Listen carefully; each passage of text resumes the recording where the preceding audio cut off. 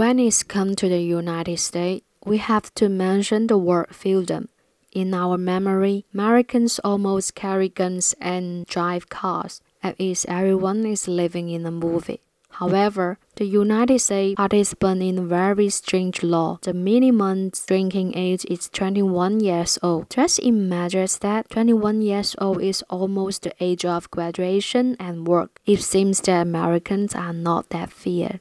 What you may not know is that the United States have a historical been a very religionless conservative country. My God is a common word that also reflects Americans' belief in God and Christianity.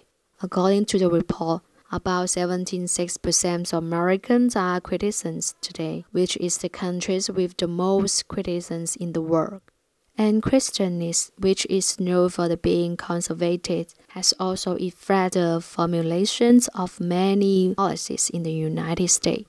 Christianism organized why is an evil and a reason of poverty. In the early part of the last century, Americans' increasing alcoholism caused survivors social problems.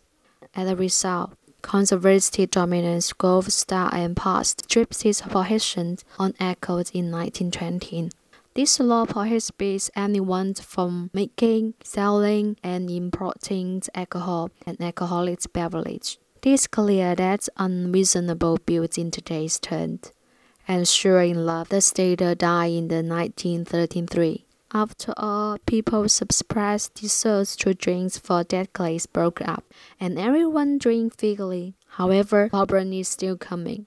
Seems most of the miners are immature. Once a party starts, most miners have alcoholism behaviors, most likely to be drunk, and alcohol will harm them more.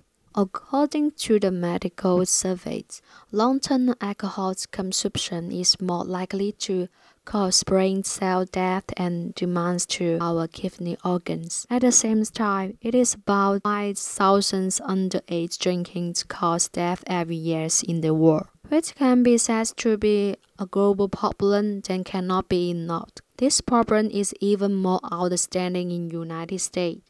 There are about 19 cars per 100 people, of which the numbers of young people under the age of 20 in the United States count for 17% of all the people who obtain a driver license. At the same time, most states in the United States provides that the legal driving age for citizens is 16 years old and some are even 14 years old. This also put a dangers for underage drunk driving later. More than 14% of car accidents in the United States are caused by drunk driving and the proportions of minors is far greater than that of adults.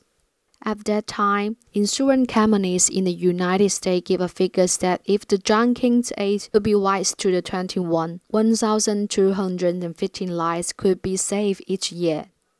Drunk driving is only a part of it. It is well known that the United States have the highest rates of gun ownership. Although the legal age for guns ownership is 18 years old, there are still many cases of minors having guns. If the minor is drunk, the consequence of holding a gun may be immeasurable.